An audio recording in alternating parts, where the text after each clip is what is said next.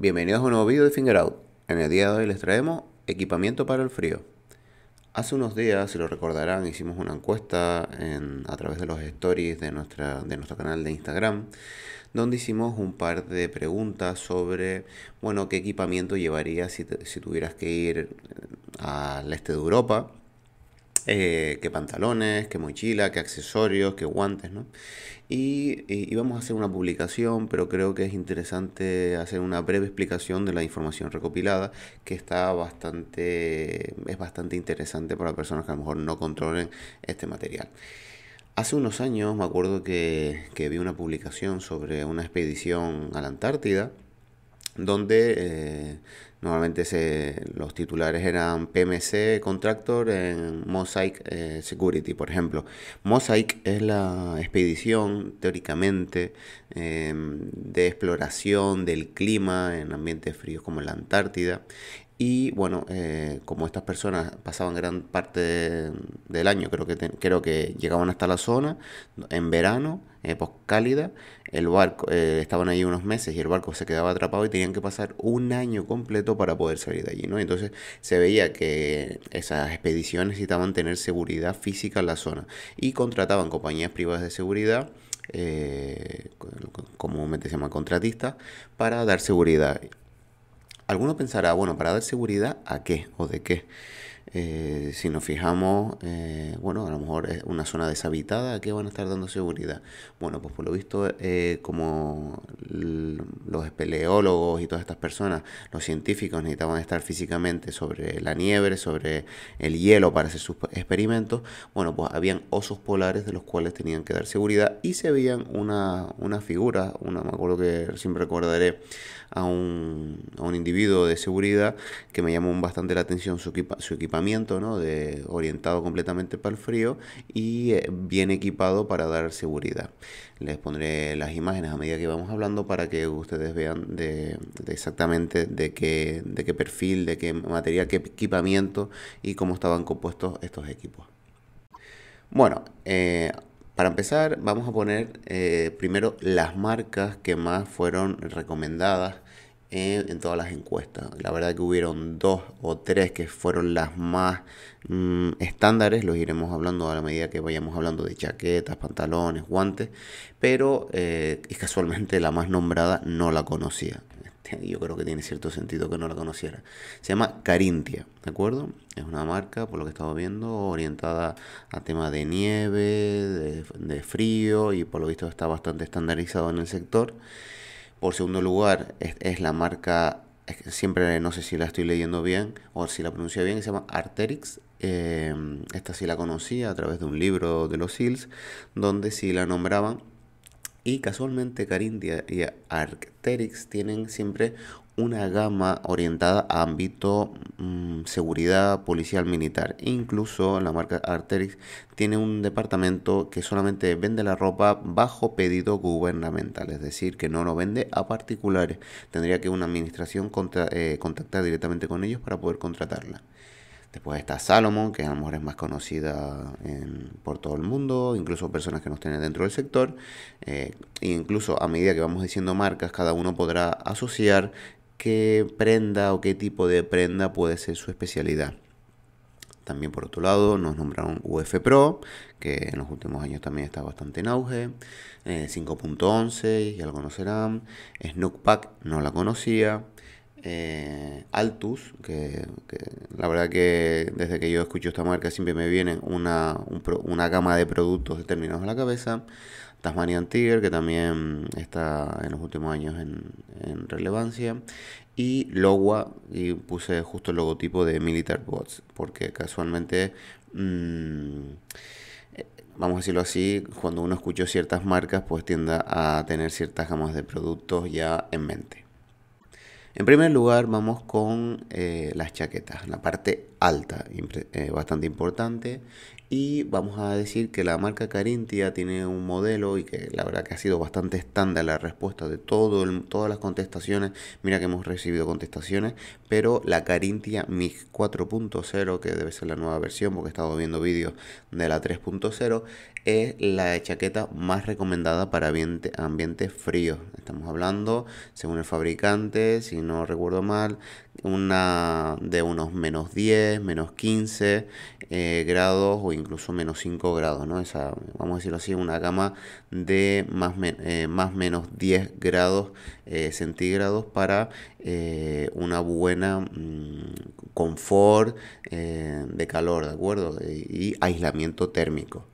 Esta gama, como las otras, tienen su versión militar e incluso eh, Carintia tiene como una gama, parece que diseñada exclusivamente para el ejército español, con donde ir poner los parches, las galletas, la bandera, etcétera, ¿de acuerdo?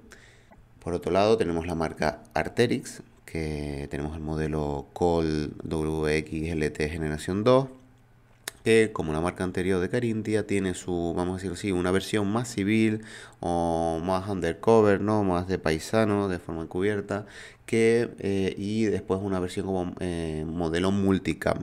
Y eh, bueno, son los modelos que más nos han recomendado.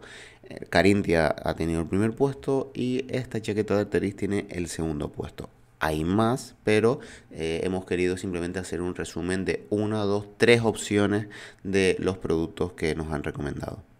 Por otro lado, Carintia también tiene, evidentemente, si tiene prenda superior, tiene prenda inferior.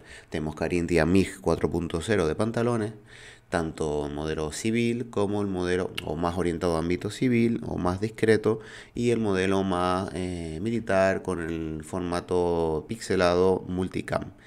Eh, recordar que son como unos pantalones para las personas que no conozcan bien este material, impermeables y que tienen unas grandes cremalleras en los laterales orientados a ser superpuestos en la uniformidad.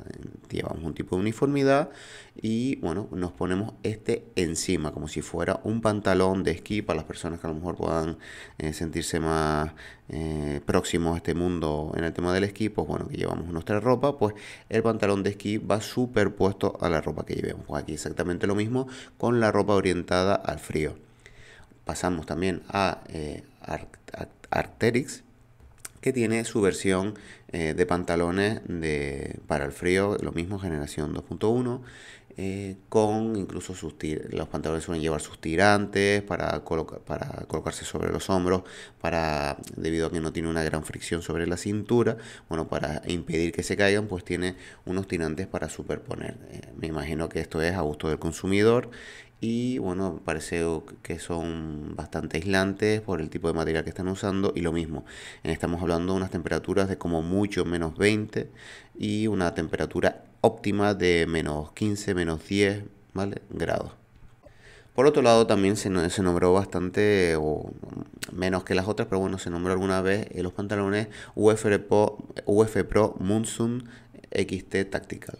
Vemos que tiene también su versión civil con sus tirantes y sus cremalleras laterales para una mejor colocación de, este, de estas prendas sobre la ropa y la versión más multicam. Bueno, ahora vamos a las mochilas. Estas fueron las mochilas más nombradas. Por un lado la 5.11 de Rus, 72 eh, horas, la Altu tipo del ejército boscosa, la Tasmanian Tiger de, que se llama Dragon Egg y de Mini Mystery Ranch, de la de dos días de asalto. Es decir, eh, son unas mochilas que no son demasiado voluminosas, que están bastante compactas, como ya saben las determinaciones, 24, 48, 72 horas. Bueno, pues casi todas eran de 72 horas. Ahora vamos con otra parte que es muy importante, que es el saco de dormir. El saco de dormir eh, hubieron dos eh, marcas predominantes. Carintia por un lado y Snookpack por el otro. Ambos se ve que son sacos de dormir bastante confortables, mullidos y que ocupan bastante poco espacio, incluso casi todas las, eh, las bolsas de transporte tienen las, las cintas típicas para apretar y, e intentar que ocupen lo menos posible en la mochila del agente o en este caso del soldado. También importante añadir que eh, están orientados a unas temperaturas de menos 10, menos 15 y en algunos sitios he leído que como medida extrema hasta menos 35 grados, que evidentemente eh, no habría que llegar hasta esto, sino a lo mejor como mucho hasta unos 20 y poco grados, menos 20 y poco grados sería lo suyo y no llegar a los menos 35 que ya sería unas condiciones, bueno, de forma de supervivencia. Una de las respuestas más habituales que se nos dio fue que al igual que el saco es muy importante, es igual de importante su funda tipo Big Bag. ¿Por qué? Bueno, vemos que un saco está orientado a dar calor, vamos a decirlo así, a dar confort, a, eh, hacer un aislamiento térmico de la persona. Pero eh, si llueve mucho, por ejemplo, no estamos dentro de una tienda o de algún tipo de caseta o refugio improvisado, bueno, pues acabaría la humedad, el agua, eh, si llueve mucho, calando dentro. Entonces hay que tener una funda, una funda tipo V-Back. Y las dos que han, vamos a decirlo así, que se han, ganado por goleada han sido la de Trango World, Stren Gore-Tex, que la tenemos aquí a mano izquierda, y la de Snoop Pack eh, Special for Bit 6 que serían las, que, las dos que más han ganado. Eh, tienen sus eh, típicas cremalleras por los lados para poder meter el saco o incluso los típicos de cierre mm, elásticos para poder, mm, eh, vamos a decirlo así, disminuir la entrada de aire al interior. Pero también es importante decir que, bueno, que normalmente los aislamientos producen que el, que la, humedad se condense dentro y haya una mm, menor confort de la persona que lo está usando. Entonces es una cosa que hay que tener en cuenta y saberlo que bueno que tiene sus pros y sus contras. La mayoría de personas eh, nombraron la lana merina como si fuera el, el cáliz que de todo de toda persona en el frío y lo nombraban tanto para trajes internos como para eh, calcetines eh, no para guantes pero sí para calcetines y para trajes interior importante tener un buen traje aislante térmico que en este caso todo el mundo nos nombró la lana merina, bueno, todo el mundo no, pero sí hubo un auge eh, importante de destacar la lana merina como algo importante del combatiente. Y bueno, un traje interior para aislamiento, primera capa, y los calcetines, que es importante combinar un tipo de calcetín, que lo veremos más adelante, con las botas que nos han nombrado. Bueno, por otro lado nos han nombrado una serie de accesorios que harían más fácil la, vida del combatiente o, vamos a decirlo así, prolongarían más el tiempo de necesitar ayuda o tener que huir de la zona para buscar refugio. Por un lado es el Jet que es eh, un aparato bastante usado en, todas las Fuerzas Armadas del mundo, que ocupa bastante poco espacio, que mm, es bastante eficiente en ambiente a la intemperie y bueno, nos da la posibilidad de calentarnos incluso las manos y calentar algún tipo de comida o líquido que también por dentro nos caliente. Vemos que incluso tienen los tipos tiradores para no eh, quemarnos las manos al tocarlo. Por otro lado, nos han hablado mucho también de los packs de calor, de tiendas de deporte, donde incluso pueden dar hasta 12 horas de calor. Y a lo mejor metiéndonos uno en el pecho o, justo debajo del portaplacas, eh, en, los muslos, depende de la zona donde necesitemos. Si vamos a estar quietos, a lo mejor los pies o las, las zonas donde más sufrirían, pues nos ayudaría a retrasar la entrada en hipotermia. Y como no, el gorro ruso, también lo ponemos aquí de cosecha propia, eh, es una herramienta muy importante para el frío.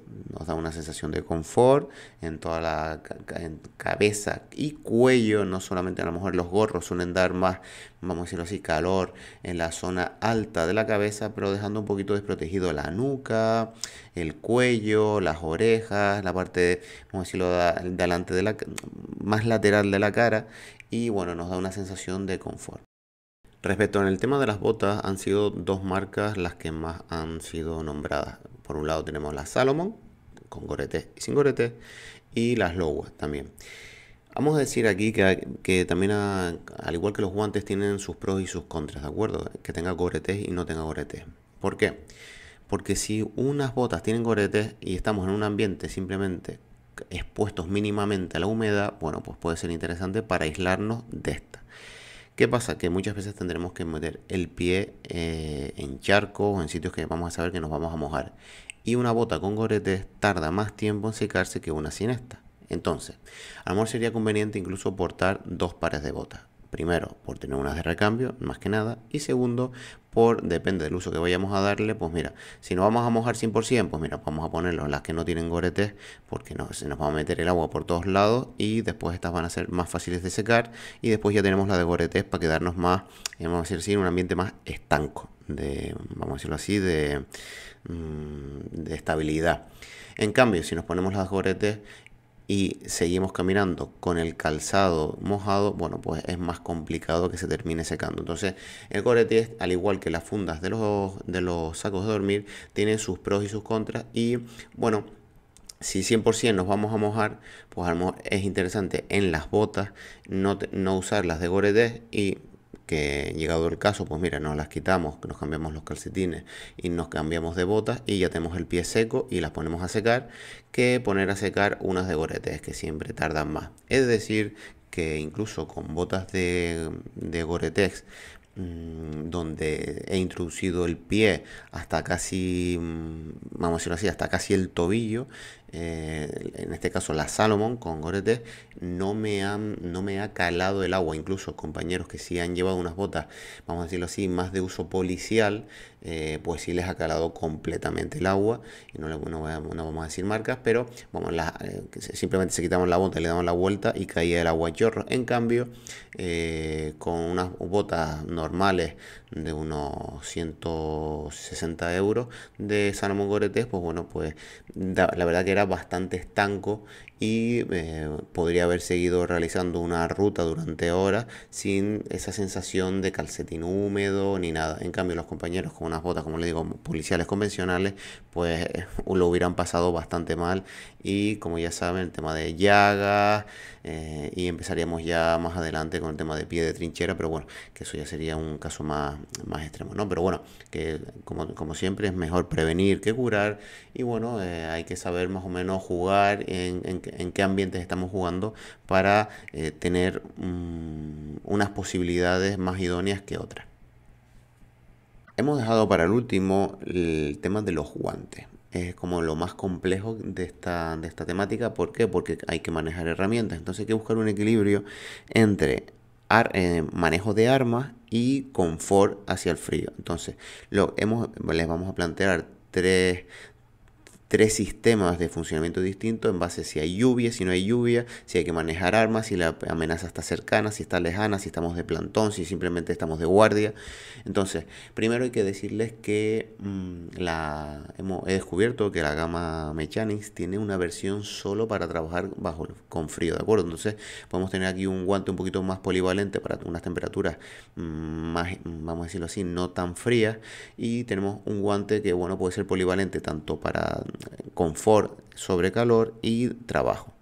Pero eh, vamos a hablarles también de una opción que, está, que cada vez está más en auge, sobre todo en el ejército de Estados Unidos, y menos en el nuestro. Todavía se ve en el nuestro que el tema de meterse las, las manos en los bolsillos parece que está mal visto cuando simplemente, eh, el, vamos a decirlo así, el, trabajador está manteniendo su, su, herramienta principal de trabajo eh, lo más óptima posible para que pueda eh, no perder las habilidades motoras finas, bueno, pues se meten en, vamos a decirlo así, que la empresa Espíritu System ha creado una especie de, de manguito donde que da calor, ¿no? Con una especie de, de canguro eh, para generar calor. Incluso aquí también se le podría meter algún tipo de pack de calorífico para, para no, vamos a decirlo así, para no retrasar tanto que cuando volvamos a meter las manos tardemos en, volver a tener una temperatura óptima de las manos.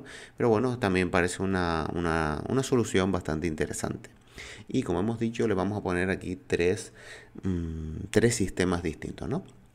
Por un lado se están viendo, eh, o sea, mínimo hay que llevar dos guantes, ¿de acuerdo? Entonces, ¿por qué hay que llevar dos guantes? Bueno, a lo mejor un guante primero tipo, eh, vamos a decirlo así, táctico, como el que todos conoceréis, tipo Mechanic, el normal, eh, o las versiones de trabajo en invierno más, mm, vamos a decirlo así, más minimalistas, por llamarlo de alguna manera, y encima vamos a poner otro guante. Entonces, si llueve, estamos en un ambiente que, estamos, que nos vamos a mojar, que vamos a poner las manos sobre la nieve, entonces es importante tenerlo impermeabilizado, porque si solamente tenemos ese guante, el agua eh, calará y nos enfriará las manos y será difícil que lo podamos secar. Entonces, por un lado tenemos la versión de guantes Mechanic y sobre este eh, de tipo táctico y sobre este nos ponemos la imagen de la izquierda donde vemos que incluso tiene unas agarraderas como las tablas de surf para poner en las muñecas o donde queramos anclarlo. Lo mejor sería evidentemente las muñecas. ¿Por qué? Porque incluso nos podemos quitar los guantes, dejarlos caer en una situación de emergencia y no perderlos. Y nos quedaríamos ya simplemente con la primera línea del guante para trabajar. También se están viendo los guantes tipo manopla o como este que le hemos puesto en pantalla para que tienen algún tipo de abertura para simplemente eh, sacar los dedos y que la palma de la mano siguiera con un mínimo más de confort y ya saben si la mano está un poquito más caliente pues los dedos retrasarían más eh, la pérdida de habilidades motoras finas. Por otro lado, vemos la imagen del medio, donde seguramente esta, esta persona, este soldado, este combatiente, operador, como lo quieran llamar, este personal de seguridad, tiene un guante puesto y encima tiene este que vemos, el cual le está dando impermeabilidad al primer guante. Y por otro lado, también se está viendo mucho que si no vamos a estar en un ambiente, vamos a decirlo así, donde estemos en contacto con la nieve, que podemos estar de pie sin tener que estar, vamos a decirlo así, cuerpo a tierra, por, llamarlo de alguna manera, eh, vamos, que no tengamos contacto con la nieve, con las manos, ni eh, con la lluvia. Entonces podemos tener un guante tipo táctico, tipo mechanic normal, y encima ponerle uno de abrigo y encima este tiene tipo manopla, es decir, si necesitaríamos hacer uso de, los, de habilidades motoras finas como manejar el arma, podemos quitarnos la parte delantera y quedarían los dedos teóricamente a la vista, pero como tenemos el guante mechanic táctico normal puesto, pues eh, quedaría con un, eh, los dedos que tendrían un mínimo de protección a la intemperie y a desgaste, frío, etc. O algún tipo de rozamiento, magulladura, corte con, eh, con, con el arma mismo, por ejemplo. Pues bueno, señores, espero que les haya gustado este vídeo.